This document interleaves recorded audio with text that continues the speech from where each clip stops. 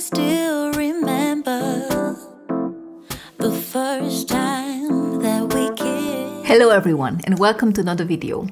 Today I want to talk about 10 amazing memoirs. I looked back at my Goodreads read shelf and I realized that all of the memoirs, autobiographies I read, I gave 4 or 5 stars to. So these are definitely the books for me. Some of these books on this list are really popular. So if you haven't picked them up because you didn't know whether they were the hype or not, I'm gonna tell you, read them because they are definitely not overhyped. These are definitely worth the hype and they're worth the read. I won't put them in any particular order because as I said, I gave all of these really high ratings. So let's just jump into them. So the first book I want to mention is Becoming by Michelle Obama.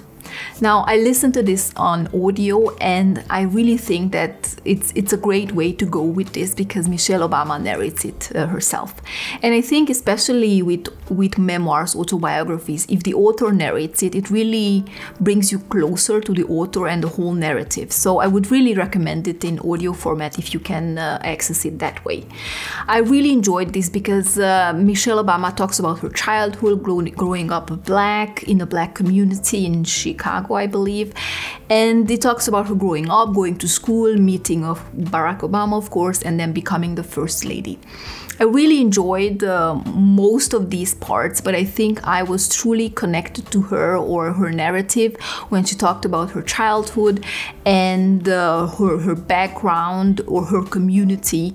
I really see how she as a person really cares about others and throughout her life she definitely proved that she cares and she wants to change and she wants to do something to change the world around her and help people around her i guess.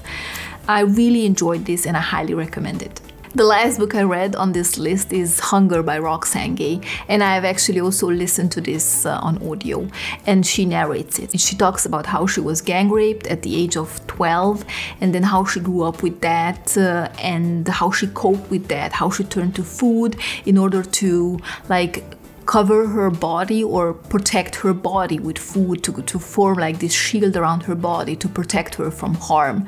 It's really heartbreaking experiences she talks about how it is to live in a large body in the US, a body which is categorized as what what was it uh, super morbidly obese which is crazy.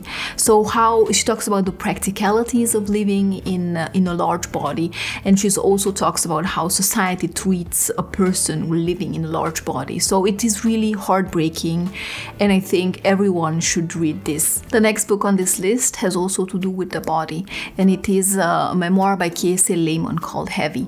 I don't understand why this book is not more hyped or more talked about because is an amazing, amazing memoir. I listened to this, it is narrated by the author, and I really recommend uh, listening to it if you can because it is such a beautifully written book and the narration has this written to it. It's really beautiful to listen to. It is a heartbreaking memoir though because uh, Kiese Laymon talks about growing up as a black boy and uh, then becoming a professor of literature and being a black man at university. So he faces, as you can imagine, a lot of prejudice and a lot of racism. He talks about his difficult relationship with his mother and grandmother and the family, but he also mentions a lot of uh, social issues in the America around black people and black men in particular, but also uh, black women, for example. It is a very difficult book to read because uh, he um, he has of course of course this problem with his body. He suffers from anorexia. He uh, becomes a, a gambling addict at the end. So it is really difficult, heartbreaking experiences. But he says it himself that this book is written for black people, so I'm not the target audience for this. But nonetheless, this is an amazing memoir and I gave it 5 stars. The next book on this list is Just Mercy by Bryan Stevenson. So now I have read this before the movie on Netflix came out, so I think now much more people know about it. And it is definitely one of the books which is under hyped. And a lot more people should talk about it, a lot more people should read about it because it is such an important one and it is important to people to know about this and what's happening in the justice system in the US. So Bryan Stevenson as a young lawyer formed this equal justice initiative to help the poor and uh, to help those who couldn't who couldn't afford uh, legal help. He helped, for example, one man who was sentenced for murder he did not commit. So you hear about all these awful cases of people being in prison for such minor things and being in prison for such a long time, and these uh, people would not be sentenced if they would be white, for example. So a lot of these cases are about black people, and uh, and it is just awful and it is harrowing how the justice system is so racist and it is so prejudiced against black people and poor people in general.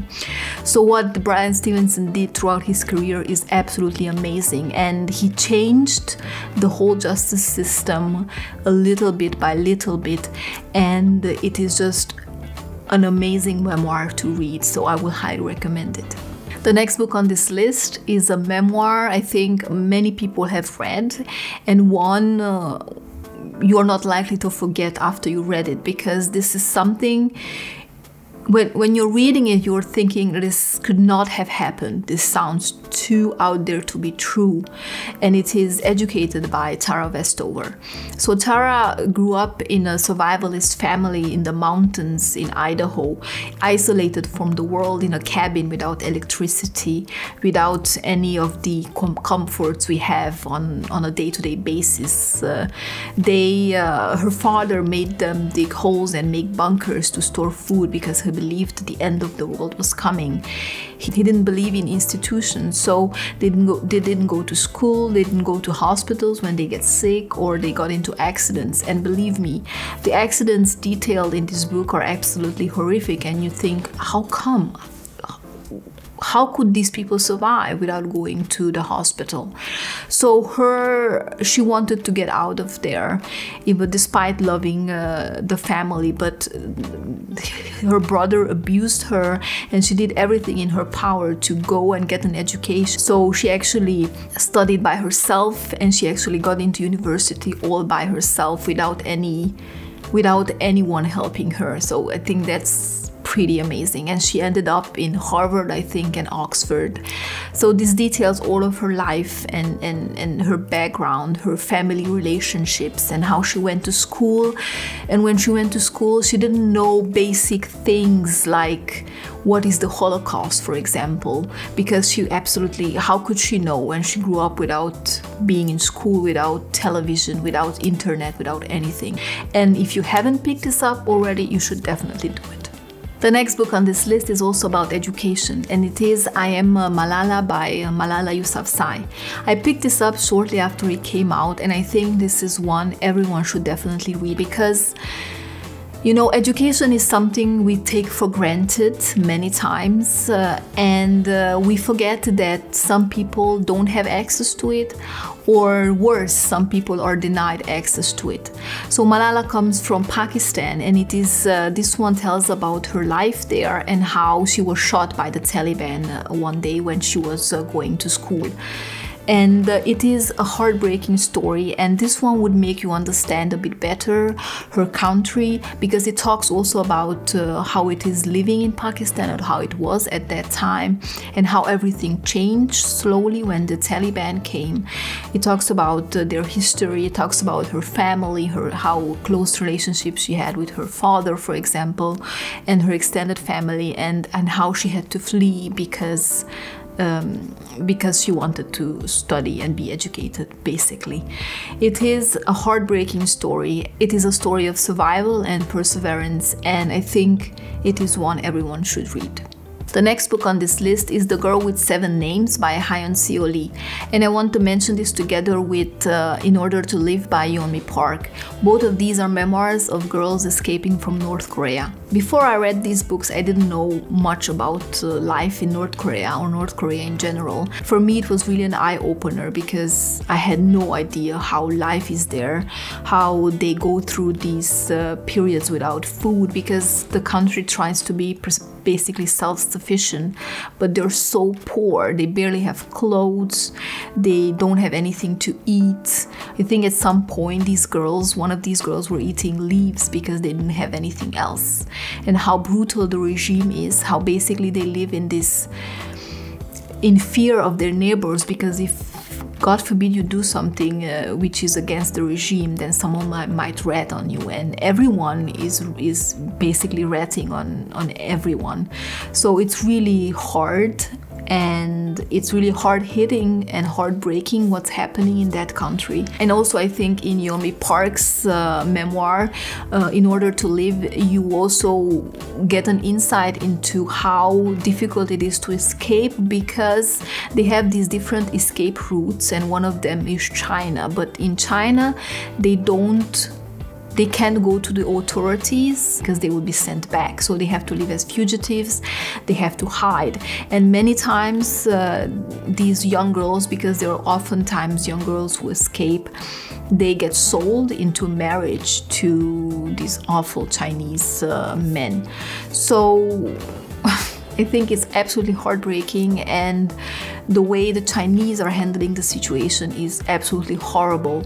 So, uh, the best choice for these women or these people, uh, whoever escapes, is to is to get to South Korea, and they have to go towards Mongolia and Taiwan and all these kind of different routes because it's just so so dangerous. So, if you don't know anything about North Korea, you like memoirs, then you should definitely pick one of these up. The next book I want to talk about is Brave by Rose McGowan.